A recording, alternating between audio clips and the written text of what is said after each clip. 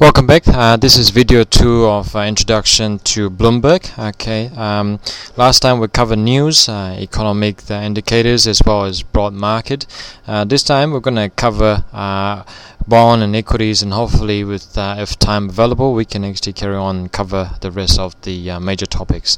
Now, the first one I want to cover is bond. WB. WB uh, is uh, world bond markets. It tells you and lays out uh, North Latin America, uh, Europe, and as well as Asia Pacific. This is a very very um, useful function. You can actually look at it uh, from uh, yield curves. All right, you can actually draw onto yield curves and actually study it a little bit further. Now, U.S. Treasury, and if we go to go in further and look at the um, graph them by by a chart, you can see the U.S. Treasury is actually very steep yield curve. Um, the, the rate is very low. The two-year rate is very, very low as 0.69, but it actually steepened uh, all the way to 4.6355% for the 30 year. Mm, this is a fantastic tool for you to actually um, do analysis and uh, very fast as well. So that's uh, WB for world bond. Um, the other tool that you can use is BYFC. Uh, BYFC uh, it stands for Bond Yield Forecast. Now it gives you a forecast into the future. These are based on economic, um, uh, what do you call it, um, economic economist view of the of the um, what the interest rate is likely to be for the bond. Alright, you can look up the G7, uh, Western Europe, Eastern Euro, Asia Pacific, and all the way to the Middle East. Um, what I like to use this for is actually study the spread. Now comparing the three months to 10 year, and and do a in-depth analysis of it okay? And you know all of these gives you further in-depth information and what which are the firm that provide this information. As usual you can click menu. Uh, it's one of the useful function that page to remember. Click menu to go back to where where you actually originally is in. So you can go study this a little bit further and click into graph and actually it will plot it out for you. Right, so that's a very brief brief introduction to bond. Uh, the next segment that I want to cover is equity. Uh, one of the fastest way to tell what's actually going in the world in equity market is WEI. It gives you a very very quick rundown on what the uh, world market has been doing. it tells you the time period or when was it closed, 18th uh, uh, February 18th. Okay, so it's actually up to last Friday um, if I remember that correctly, and it's been on uh, holiday since. And um, and uh, 21st is uh, yesterday, so uh, all of these market, the Eastern uh, emerging market, East Asia, are still trading right now. Asia is uh, closed. Yeah, it's actually closed, but but these are actually a little bit delayed. So if you look at Asia, most of them are closed. You can click onto this and go into a little bit more in depth. Uh, Tokyo is down. Um, Shenzhen, China is all down substantially.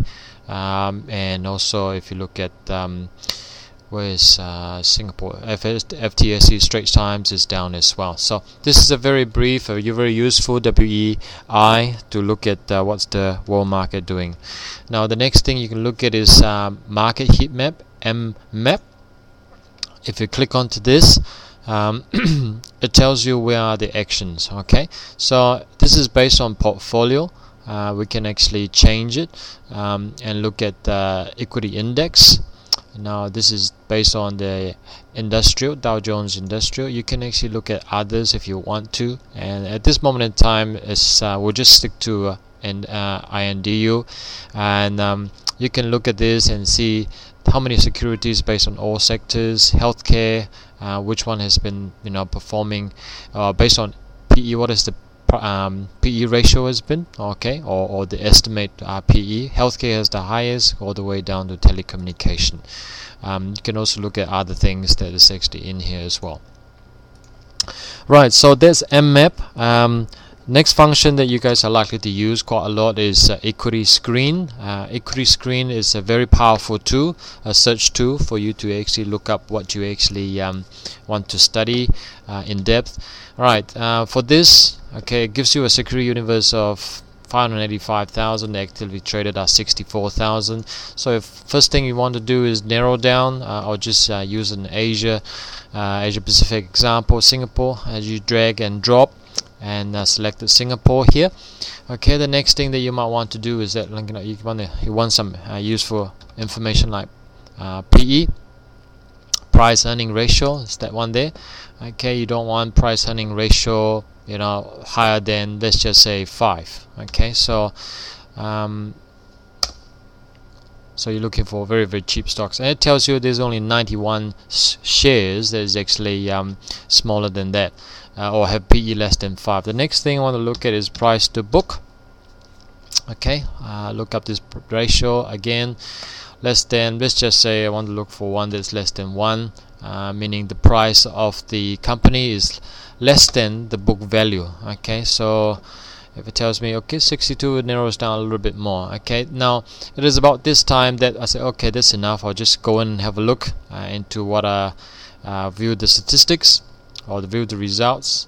Okay this tells me the statistics okay of all this information. I don't want, I don't want that right now. I want to look at the results of my selections okay I can dwell into it and see okay this these are the few companies price earnings ratio are very low. Okay price to book are very low as well. The market cap how big they are. And look at the price and the revenue and also how has the total return been been.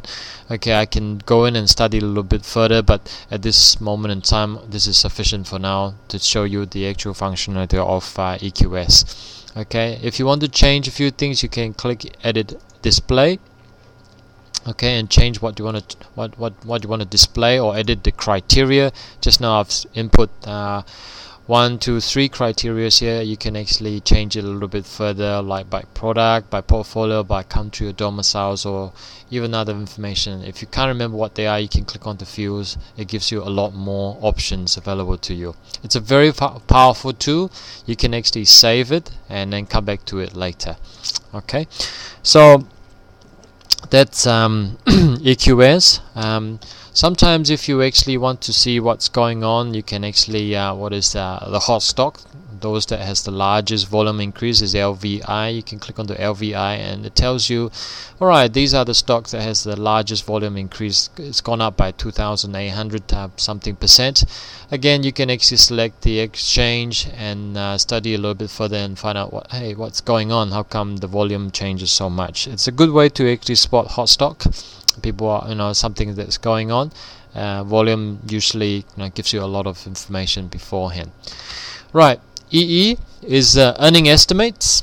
Okay, earning estimates uh, tells you what is the actual consensus. You can actually look through all of these. I won't go into it uh, once again because of time constraint.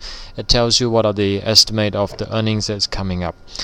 Right, another powerful tool is FA. FA uh, is financial analysis. It gives you a lot of information. You can click onto this and start looking at all of these breakdown. Say for example, I want to look at the income statement.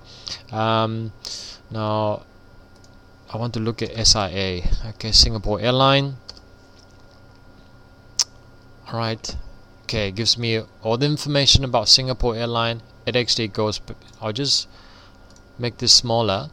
Okay, it actually goes all the way back to 1991 so you might not be able to see that clearly okay? It can actually go back a long period of time and uh, allows you to actually do further much more in-depth analysis. So you can also scroll this all the way back to 1991 and see what is the revenue the profit the income and all the way up to today. Notice that you can look at balance sheet cash flow and all the other many many other things that uh, should you want to actually do further in-depth analysis. So that's a very brief uh, introduction to FA. The next one, if you want to know what the company does, just a brief one is DES, description. Description applies to bond as well and uh, quite a few other securities. Is probably one of the fastest and easiest way for you if you don't not familiar with it. And just type DES and it tells you. Okay let me just come pull back Singapore airline once again. And let's come down here select Singapore airline and type DES and notice that it gives me a very brief introduction of what Singapore Airline does okay what industry it's in. Gives me some salient points about you know what the price has been how many shares outstanding what is the one year total returns been what is the dividend yield uh, the dividend growth. Okay this this is page 1 of 11 you can actually scroll down and look at many many other things like who are the management right now okay which member uh, of the index um, SIA belongs to okay it also tells you uh, and uh, gives, gives you information on financial ratios. Uh, shareholder information you can actually go in a bit further uh, later screen. It also gives you a brief rundown on revenue um, product segments what uh, different segments uh, it's Singapore airline or do they operate in? You can see that they operate in airline operations cargo operation airport terminal services and it gives you a breakdown of their breakdown of the revenue okay page 7 gives you a further in-depth by geography. Okay East Asia is the largest uh, by proportion but notice that the actual um, revenue has been shrinking quite substantially. Right okay uh, page 8 is income statement balance sheet and uh, cash flow and the last page here page 11 gives you top shareholders. You can click on PHDC and actually gives you uh, a further further screen and see okay who are the major shareholder? Now Temasek Holdings hold 54% so they are the largest shareholder of Singapore Airline. So that's a very brief explanation of Singapore Airline. And if we want to look further relative value okay and compare it against uh, a couple other you know, players uh, Neptune Orient, Singapore Engineering, Airline Engineering. You can compare all the other different uh, companies how it has performed in transportation in the same uh, sectors, and uh, and see you know uh, see if you can uncover other more useful information. I mean, from a PE perspective, it's somewhere in the middle price to book is not too heavy you know too overpriced and is the largest company here at 16 billion so these are the information you can actually get from uh, RV okay? So you can actually customize it further and also export it to Excel and um, and you know do quite a few other things with it too. So it is at this time that I have to stop and uh, come back to uh, two more um, uh, what do you call segments. Uh, one is uh, foreign currencies, commodities, and fund analysis, as well as technical analysis. This, that will be the third video. So today we'll cover the um, second uh, portion, which is bond and equity. We'll come back to the uh, technical analysis and a few other things in the next video. Thank you.